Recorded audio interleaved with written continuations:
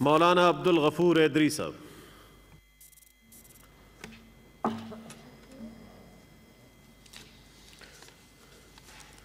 बसमीम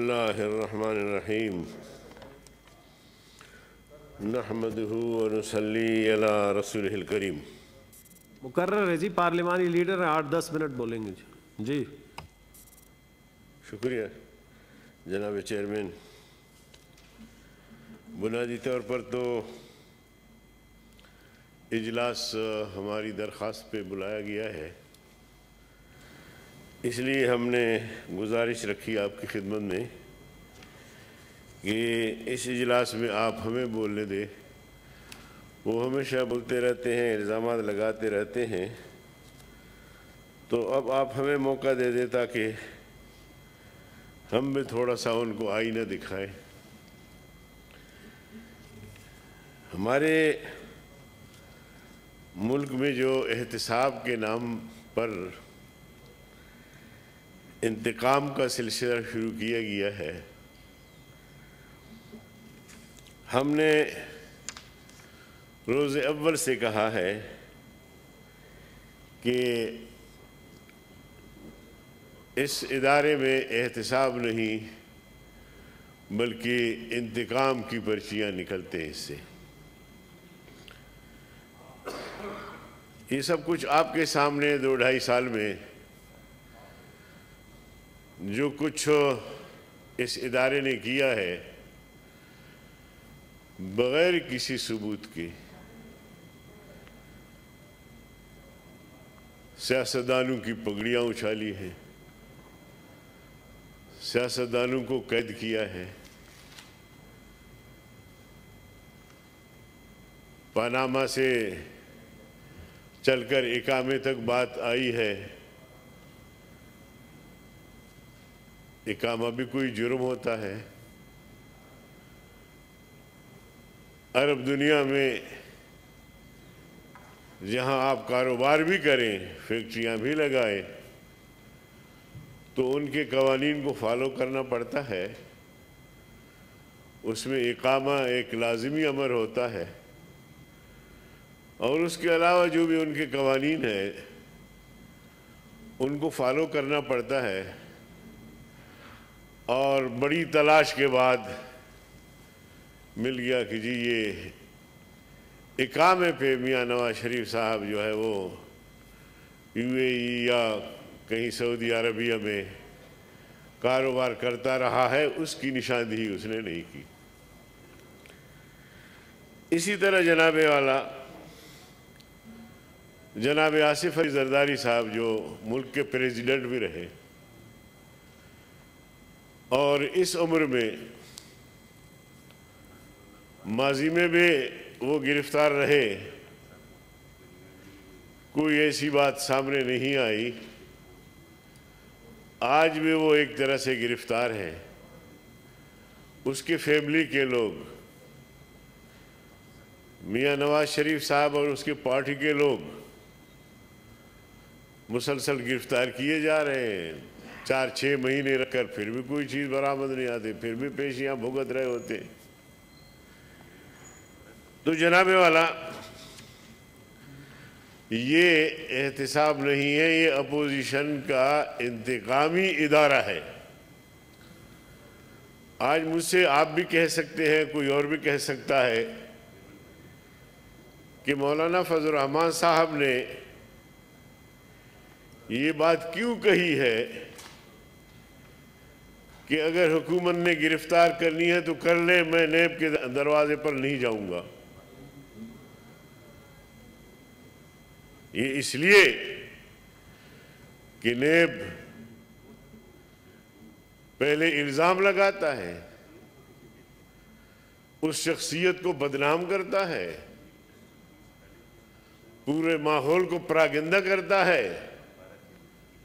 उसकी इज़्ज़त उछालता है बेजती करता है, और उसके बाद फिर कहता है कि जी कुछ ही साबित नहीं हुई।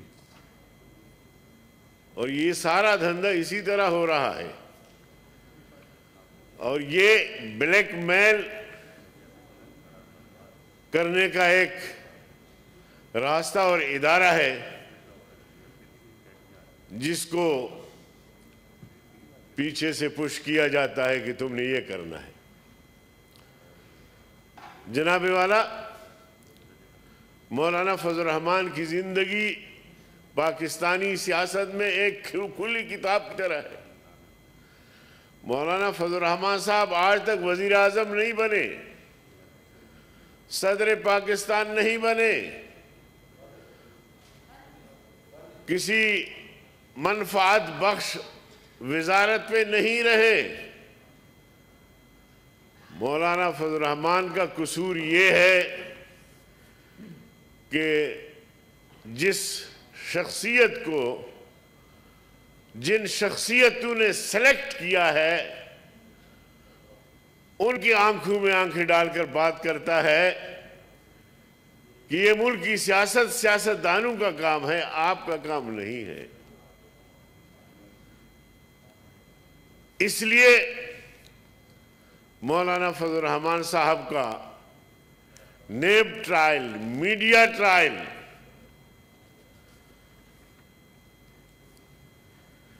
और अगर वाकई जैसे हम कहते हैं और है भी इसी तरह तो फिर जनाब चेयरमैन साहब, आपकी तवसत से, इस हाउस की तवसत से, हम टुकड़े टुकड़े हो जाएँ, नेब में पेश नहीं होंगे। इसलिए कि वो पहले पगड़ियाँ उछालता है, पहले बदनाम करता है, रुसवा करता है, और उसके बाद फिर गिरफ्तारी के बाद कहते हैं जी कुछ नहीं निकला। और होगा भी कुछ नहीं, इंशाल्लाह। मौलाना फजल रहमान पे इस तरह के इल्ज़ाम कि दो अरब के इधर उनके जायदाद है जनाबे वाला इस्लामाबाद में, मौलाना फजल रहमान कहते हैं कि अगर दो अरब तीन अरब के जायदाद हैं तो उन जायदादों के कागजात तो लाओ मेरे पास। मुझे दिखाओ तो सही। इसी तरह दुबई में कारोबार है तो सऊदीया में कारोबार है तो पाकिस्तान में कारोबार है तो जुबानी कलामी मीडिया ट्रायल नेप ट्रायल ला के दिखाओ तो सही। तो इस किस्म के झूठे इदारे को जो कि किसी के कहने पर वो हमारी पगड़ियाँ उछलता है तो उनके इस किस्म के फैसलों को, इस किस्म के कवानीन को, जो सियासतदानों के पगड़ियाँ उछाले, उनको रुसवा करे, मैं ऐसे कवानीन को जूते की नोक पे रखता हूँ। ये मज़ाक बना दिया है पाकिस्तान को। माशी तौर पे पाकिस्तान तबाह हो गया है। एफ़ के लिए कह रहे थे कि जी एफ़ की वजह से और फ़िलहाल और हम जो है वो ब्लैक लिस्ट से बच जाएँगे। एफ़ के कहने पर आपने कानून साजी भी की। उनके जो फरामीन थे वो भी मान लिए आपने। लेकिन क्या हुआ? कोई पाकिस्तान माशी तौर पे तरक्की के शाहरा पे गामजन हुआ।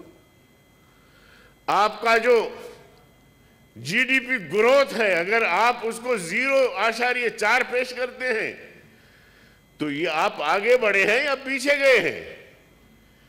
जनाबे वाला, अगर ये दो ढाई साल में आप अपने वादों पे अमल दरामद कराते,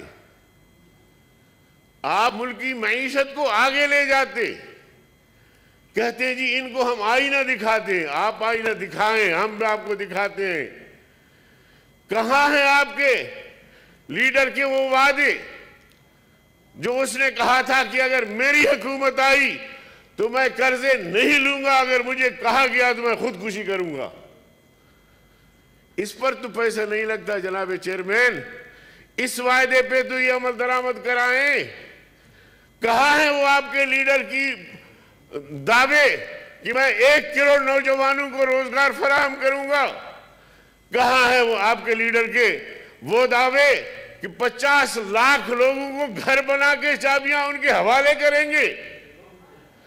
आज गरीब भूखे मर रहा है, चेयरमैन, मुझे आप इजाज़त दें। गरीब इस कोरोना में हॉस्पिटल के सामने जाता है, उसके पास पैसे नहीं होते हैं। ये गरीब खुद है या उसके बेटे या बेटी या बीवी है तड़प तड़प के अस्पताल के सामने मरता है। इनको वो ख्याल नहीं आता। दसियों अफराद इन्होंने लगा दिए हैं अपोजिशन की किरदार कुशी पर। और फिर जब भी हम ऐसी बात करते हैं तो कहते हैं, जी, फौज हमारे साथ खड़ी है। फौज को तुम सियासत में लाके फौज को बदनाम क्यों कर रहे हो? फौज एक इदारा है। उसकी ज़िम्मेदारी है जहाँ जहाँ उसकी ज़रूरत है, वो अपनी ज़रूरत को समझता है। तुम हर बात में कहते हो जी, इदारे हमारे पीछे खड़े हैं, आर्मी हमारे पीछे खड़ी है। तो जनाब वाला, आर्मी के पीछे छुपकर हुकूमत नहीं चलाई जा सकती। झूठ बोल बोल के हुकूमत नहीं चलाई जा सकती।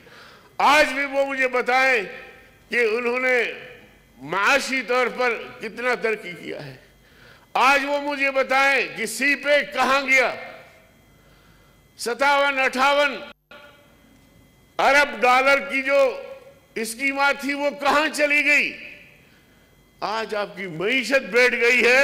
मैं डर इस बात से रहा हूँ कि अल्लाह करे वो दिन ना आए कि आपके पास पैसे ना हो जो मुलाजिमीन को तनख्वाह दे। आपके पास पैसे ना हो जो सेनेट को चलाएँ। आपके पास पैसे ना हो जो कौमी असम्बली को चलाएँ, इदारों को चलाएँ। जनाबे वाला सोवियत यूनियन ऐसे नहीं टूटा। सोवियत यूनियन के पास असलह भी था, एटम बम भी था, रॉकेट्स भी थे, मिसाइल भी थे। लेकिन अफ़गानिस्तान में जब उसने मुदाखलत की, शिकस्त का दो, से दो चार हुआ, उसकी बुनियादी वजह यह थी कि उसकी मीशत कमज़ोर हो गई और तकसीम होकर रह गई।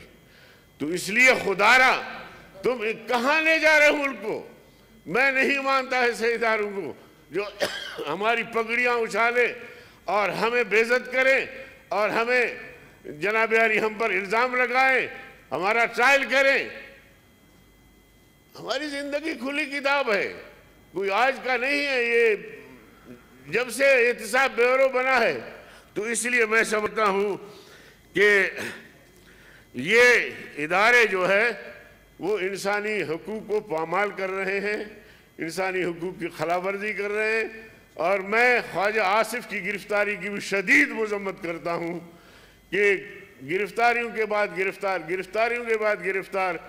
और एक शरीफ उलफ इंसान को बार बार जो है वो इस तरह की चीज़ों से गुजारना।